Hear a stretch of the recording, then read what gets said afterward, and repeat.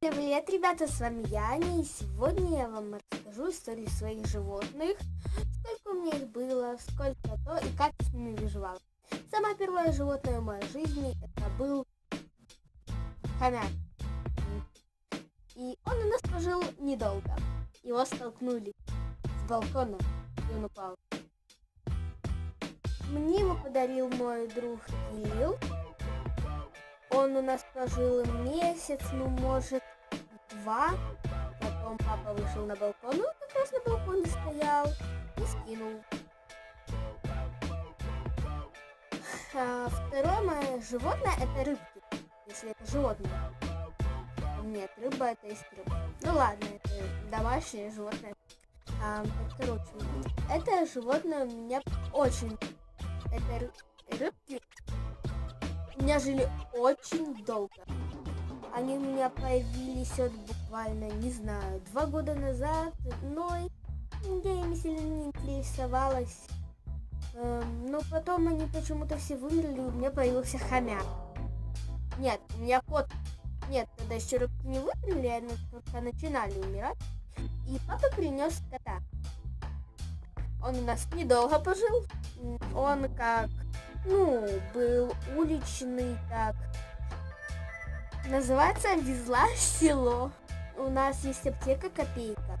Возле ее это была зима, был лед. Я как-то шандарахнулась, он убежал сначала, подбежал к машине.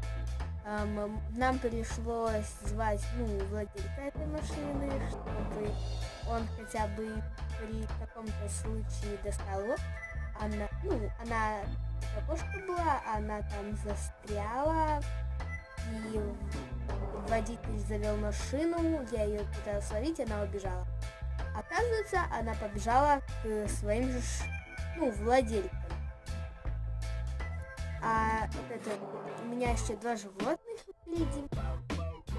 И, короче, этот кот, я за ним сильно плакала.